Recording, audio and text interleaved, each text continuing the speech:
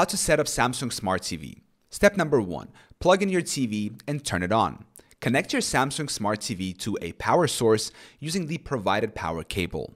Turn on the TV using the remote control or the power button on the TV itself.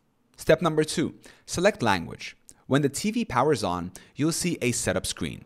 Use the remote to select your preferred language. Step number three, connect to Wi-Fi. To access smart features and apps, connect your TV to a Wi-Fi. Select wireless under network settings and choose your Wi-Fi network from the list. Enter your Wi-Fi password if prompted. Step number four, sign in to or create a Samsung account. If you have a Samsung account, sign in by entering your login credentials. If not, you can create an account directly on the TV, which allows you to download apps and access personalized settings. Signing in also allows you to sync settings with other Samsung devices. Step number five, choose auto or manual channel setup.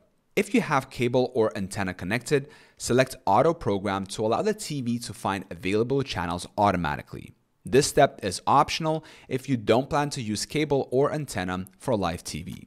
Step number 6. Set up Smart Hub. The TV will guide you to set up the Smart Hub, Samsung's platform for accessing streaming services and apps.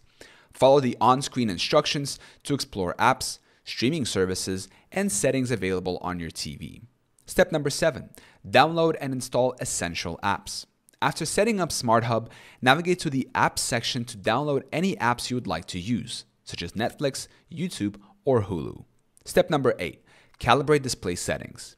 If you want to adjust picture and sound settings, go to Settings, Picture or Sound to choose presets or manually adjust settings to your preference. Step number nine, complete the setup. Once you've connected to Wi Fi, sign into your Samsung account, set up the Smart Hub, and installed your apps, your Samsung Smart TV is ready to use.